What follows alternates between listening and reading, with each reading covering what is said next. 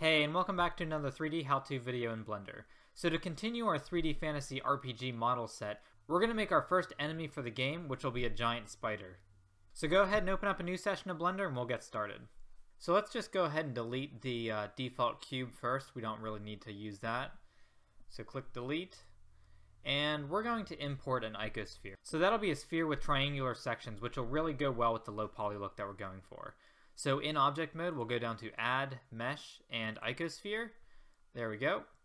And we can just start it out with the default size there. But what we're going to do is change how it looks a little bit by scaling it in object mode. And we're going to scale it just around a couple of axes. So with the object highlighted, hit S on the keyboard, and we're going to scale it in the uh, Z direction. So it's going to flatten it out a little bit. Okay, let's get a top view. Let's make sure that we're out of perspective view. I'm really not a fan of that. I like being an orthographic view. There we go. And I think we're going to also scale it in the um, in the Y direction a little bit. There we go. So we have a little bit of more of like an oval shape here. Okay, so let's do the same thing for a head. While it's still in object mode, let's go to add, mesh, and icosphere. And we can just move that forward a little bit by grabbing the origin arrows. And we're just going to shrink that down um, let's make it about that big. We can still shrink it a little bit.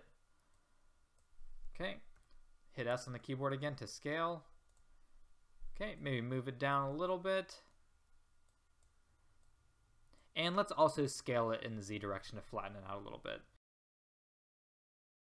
So the next thing that we're going to do is move on to the legs, and those are going to be really simple as well. So before we import anything else, let's make sure that we're keeping up with the management of our outliner up here. So we know that this icosphere that we brought in was the body, so let's just go ahead and label that body.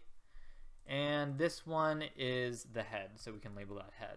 Good. So that way, if we want to change the color or alter them somehow, we know what we're clicking on in the outliner. It's a really quick way to uh, jump right into edit mode uh, if you want to target a single part of your model.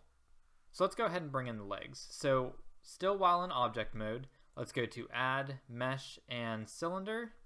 And we're going to make this a pretty low poly cylinder. Let's see what 12 looks like for our um, vertice count. And that looks pretty good.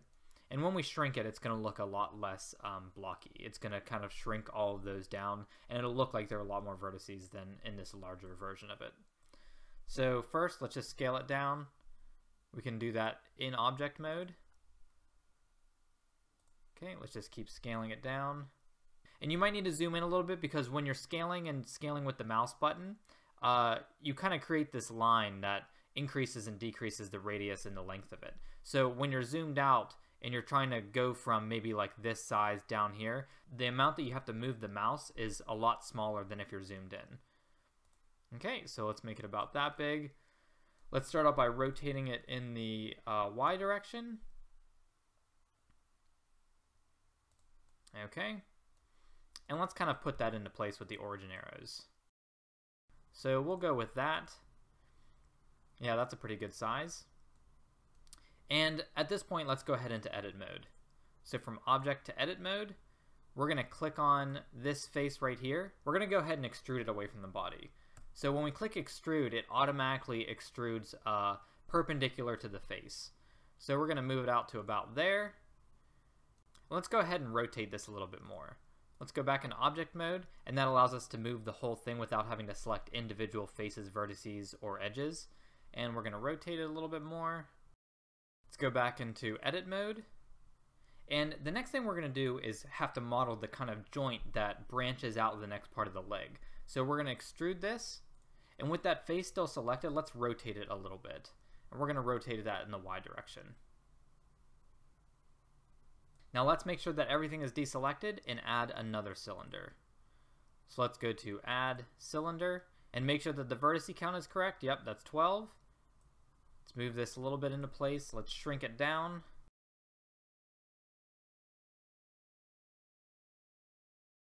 So to make it look like this comes out of the leg, let's just extrude this face in a little bit. And we want to make sure that it doesn't come through the other side. Okay, that looks pretty good.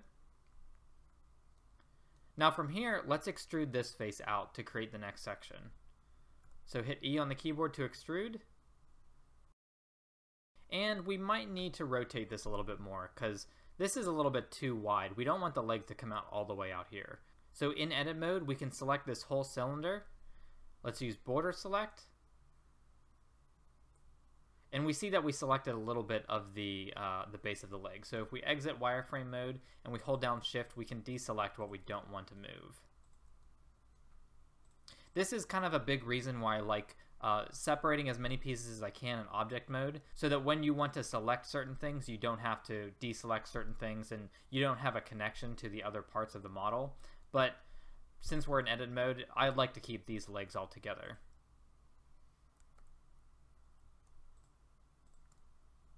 Okay. Now let's rotate this in the Y direction a little bit. Okay, so we're going to make one more section of the leg, and that's going to come pretty much either straight down or a little bit towards the spider's body. So let's do the same thing that we did with the connection between this part of the leg that we just created and the base of the leg. We're going to extrude this face out a little bit and rotate it. So hit E on the keyboard to extrude, and we're going to extrude directly away from the leg. And we're going to make it about that long, and we're going to rotate it around the y-axis. Okay, we check our joint here, we can see it's a little bit twisted. So if we hit R on the keyboard, we can just go ahead and rotate it so that the sections are a little straighter. Now let's go ahead and import one more cylinder for this leg. Let's move it into place. Let's make it a little bit longer so it's a little bit easier to work with. So with the bottom face selected, we're just going to drag that out a little bit. And let's try to angle this so that it's angled a little bit towards the body. And there's a good reason to why we're rotating it and we're not uh, kind of just dragging the faces relative to one another. If we had this bottom face selected and we move the origin arrows, we're changing the angle of the leg in our workspace, but if we zoom around, we can see that it, it changes shape when we do that. It creates more of an oval cross section along the leg, and we don't want that. We want to maintain a circular cross section for this application, so we're going to rotate the whole thing. So while it's uh, straight up and down, we're just going to elongate it in the z-axis a little bit. And now let's hit Z on the keyboard to go into wireframe mode and use border select by clicking B to highlight the whole leg. And again, we may need to deselect some faces as we do that. Okay, now let's rotate it around the y-axis. So clicking R on the keyboard and then rotating around the Y, let's move it back into place. Okay, I think that looks pretty good. The last thing that we want to do with this leg is just make it so that it comes out at a point. So let's go ahead and extrude this face out a little bit. So with that bottom face selected, hit S on the keyboard to scale, and let's just roughly form it into a point. There we go. Let's go ahead and stretch that down a little bit so it's a little bit longer. There we go. I think that looks pretty good. So we have our leg created, and if we wanted to, we could go ahead and add some more section lines and possibly scale some of the edges and faces that we created, but let's leave it like this for now. So let's exit edit mode into object mode, and there we have our first leg. That actually doesn't look too bad. I'm pretty proud of that so far. So let's go head up into the outliner and make sure that we're maintaining some outliner management here, and we're going to call this leg. And the good news here is that the spider's legs all look the same. So all we have to do is duplicate them and put them in a position around the spider. So with the whole leg selected, which you could either do by clicking on it in the workspace or clicking on it up in the outliner. And so what I like to do is when I duplicate with Shift D, I like to just click it into place. And now that that new duplication is selected, I can just move it into place with the origin arrows. So what we're going to do is just duplicate these legs and move them into position.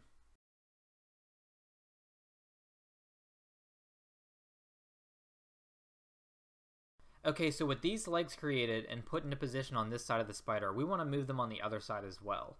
And the best way to do that is with the mirror modifier. That will ensure that the other side of the spider is a mirror image as this one. So to do that, we select one of the legs, we go to add modifier under the modifier tab, and we select mirror modifier. Now the mirror plane that's created depends on what is selected under these axes here. When X is selected, that means the mirror plane will be in the Y and Z. When Y is selected, that means its plane would be in the X and Z. And with Z selected, that means that the mirror plane will be created by the X and Y axes. Now those planes are dictated by what is considered the local origin of that part, which you can set. But we don't want to use the local origin of the leg, we want to use the origin of the body so it mirrors to the other side of the body. So under mirror object, we're going to select body, and this is another reason why it comes in handy to make sure that all of your parts are labeled under your outliner. So after that's done, go ahead and hit apply, and let's do that for the rest of the legs. Okay, there we go. We have the body, the head, and the legs complete. So the next thing to do is just to add a couple features on the head. So we're going to add some eyes and some fangs. So that's going to be really simple. Let's go ahead and import some icospheres and arrange them on the head. So let's go to Add, Mesh, and Icosphere. Let's move that to the front here, scale it way down till it's the size that we want for the eye. We're to make them pretty small. There we go. It's pretty good for now. Let's move them into place.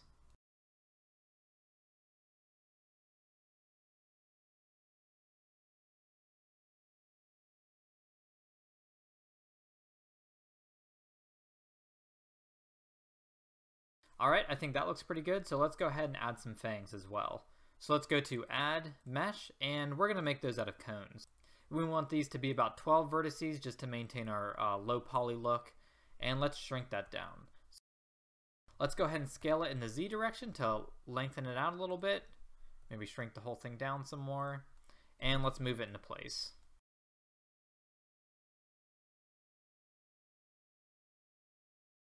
Okay, and now all we have to do is mirror it on the other side of the body. So with the fang selected, let's go ahead to add modifier, mirror, and we want it to be on the YZ plane just like the legs, and the mirror object will be the body. There we go.